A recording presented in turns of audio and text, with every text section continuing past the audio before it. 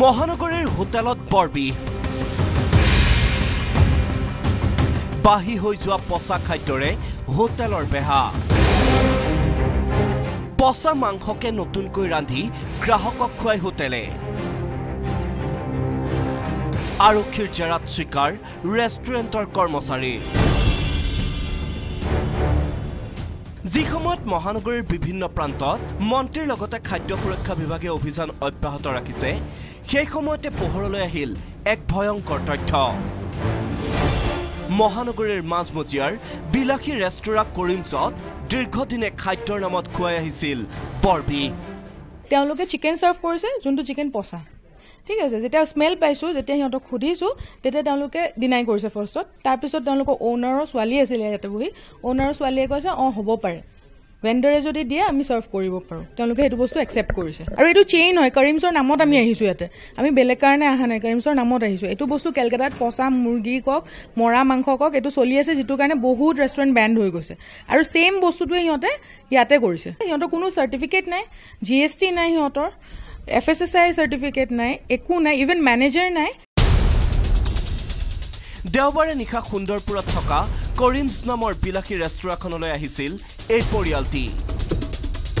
ৰেষ্টুৰাখনত পৰিয়ালটিয়ে আহাৰ গ্ৰহণ কৰোঁতেই পোহৰলৈ আহিল। ৰেষ্টুৰাখনে দীৰ্ঘদিনে খাদ্যৰ নামত গ্ৰাহকক খুৱাই অহা বৰ বৃহৎ তথ্য। উৱলি যোৱা মাংসৰে খাদ্য খুৱাই আহিছিল ৰেষ্টুৰেণ্টখনে।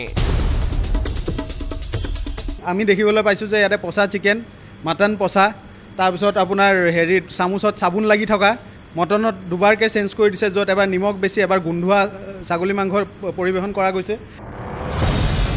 লগে লগে গ্ৰাহকগৰাকীয়ে হাণ্ড্ৰেড ডায়েল কৰি সকলো কথা আৰক্ষীক অৱগত কৰাৰ পিছত ৰেষ্টুৰাখনত উপস্থিত হৈছিল দিছপুৰ আৰক্ষী।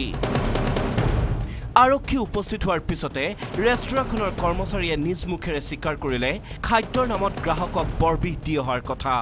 थोड़ा बास मारा है सर एक पीसेस है उसमें চিকেন यस মেনেজাৰ নাই এতিয়া এতিয়া এতিয়া তাৰমানে আমিয়ে চাই আছো কিন্তু কেতিয়াবা মালিকৰ কোনোবা আহে কেতিয়া নাই তেওঁলোক কমপ্লেইন যেতিয়া কৈছে যে চিকেনটো বেয়া তেতিয়া আমি দেখিছোঁ চিকেনটো গন্ধ পাইছোঁ ঠিক আছে এইটো আমি একচেপ্ট কৰি আছোঁ যে এইটো কিন্তু লগে লগে আমি তেওঁলোক কৈছোঁ যে চেঞ্জ কৰি দিম ইতিমধ্যে ৰেষ্টুৰাখনৰ বিৰুদ্ধে দিছপুৰ থানাত এক লিখিত অভিযোগ দাখিল কৰিছে ভুক্তভোগী পৰিয়ালটিয়ে যি সময়ত সৰু সৰু হোটেল ৰেষ্টুৰাবোৰত খাদ্য সুৰক্ষা বিভাগে অভিযান চলাই চমক সৃষ্টি কৰিব বিচাৰিছে তেনে সময়তে মহানগৰীৰ একাংশ বিলাসী ৰেষ্টুৰেণ্টে খাদ্যৰ নামত গ্ৰাহকক খুৱাই আহিছে। বৰবিহ প্ৰশ্ন উঠিছে এনে একাংশ বিলাসী ৰেষ্টুৰাৰ বিৰুদ্ধে বিহিত ব্যৱস্থা ল'বলৈ সাহস হ'বনে? মন্ত্ৰী পীযুষ হাজৰিকাৰ।